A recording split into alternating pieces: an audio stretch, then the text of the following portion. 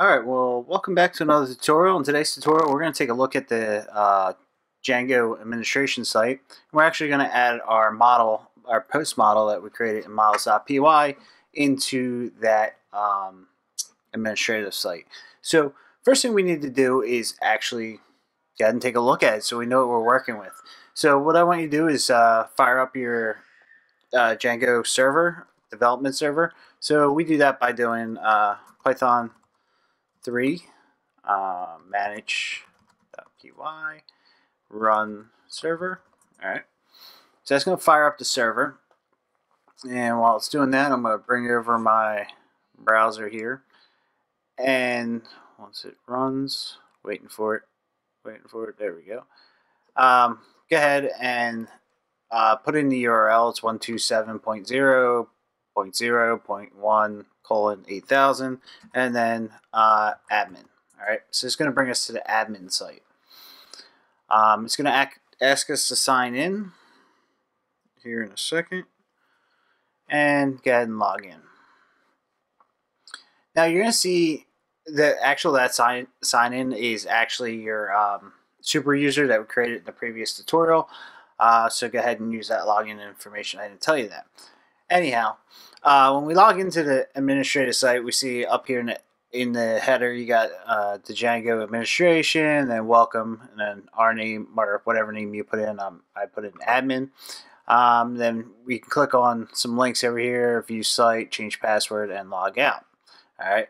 Um, nothing here too crazy that you wouldn't understand.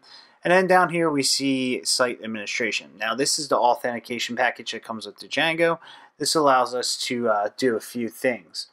Um, first off, it handles the authentication package handles uh, things like uh, users, uh, groups, like we can group users together, permissions, cookie-based user uh, sessions, stuff like that. Uh, we can also create users in here. So if we clicked on users, take a look at users. I don't use groups all that often, so we can actually create um, some new users in here by add user.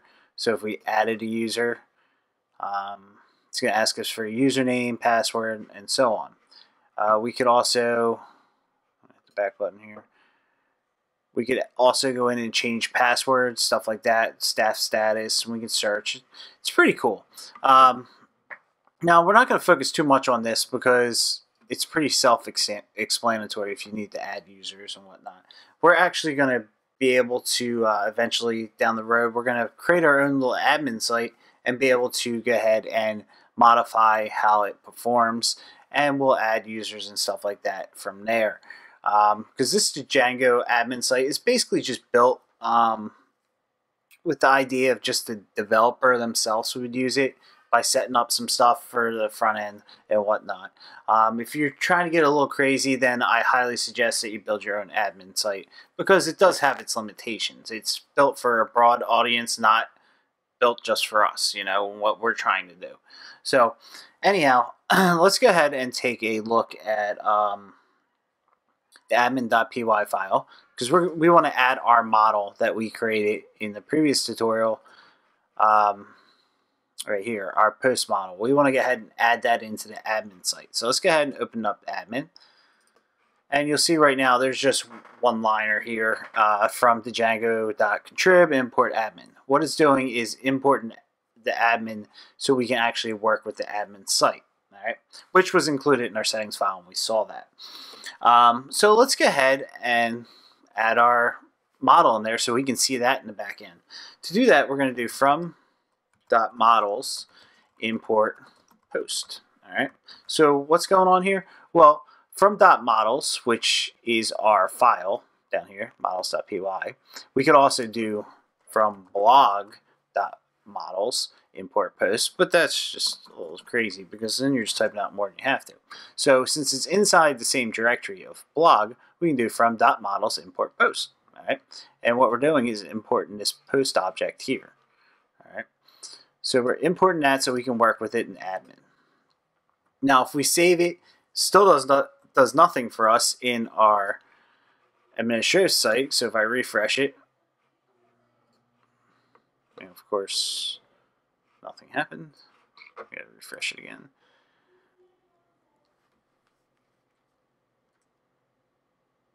And there you go. You see nothing's changed here because we actually have to register our model. And how do we register our model? Well, it's pretty simple. We'll just come down here a couple lines and we're going to do admin, all right? And then we're going to do site, and then register. And then inside register, we're going to do post and save that. And now if we go into our site and refresh, we're going to get the blog post. Blog post. There you go. All right. So we got a new section here and it's blog and then our post. So let's go ahead and click on post. And this is uh, like the list display of all your posts. Since we haven't created a post yet, we don't have any here. So let's go ahead and create a post. And don't get too crazy here because we'll probably end up deleting it down the road, but it's nice to uh, have something to work with in our next tutorial. So we'll do, uh, this is a blog post. This is a slug. And the reason why I have the hyphens here is that's how slugs work. There should be no white space. Um, this is our content. This is our SEO title.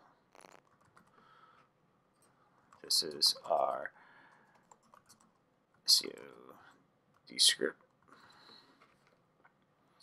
And we'll choose an author as admin or whoever you choose. And then here's our publish. It's kind of like a JavaScript type, hey, time, date, whatever. And then we'll mark it as published. So go ahead and hit save. And this is going to take us back to um, the list display that I showed you before. And here you go. Now, you see it's showing us the title. In the a couple tutorials ago when we were working with the models, I was um, explaining to you that uh, human readable, the function at the bottom of the models here, define string as self, return self that title. Let's go ahead and comment, comment this out real quick. And let's just put a string in here, and I'll just do uh, A, B, C. All right. Go ahead and save that. Go back to your admin site and give it a second to catch up. Refresh it. And now you see our, our our title is ABC. All right. With that being said, that's human readable. So when we change this to ABC, that's what's going to return to us as a human readable object, ABC. Well, we don't really want that. So how about if we did something like this, self.seo title. Now it's going to return to us the SEO title.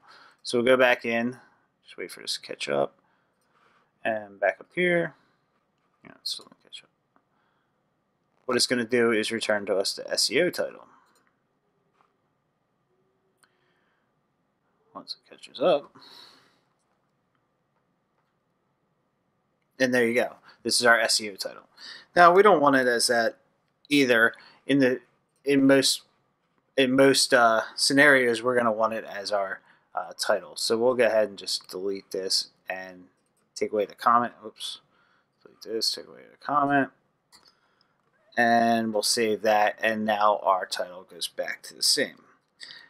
Um, if we go back into our um, administrative site here, we see there's not much content here. So in the next tutorial, we're going to modify how our display, how our posts are displayed to us, which is a pretty cool feature within the Django site. So we're going to go ahead and take a look at that. Um, so I'll see you in the next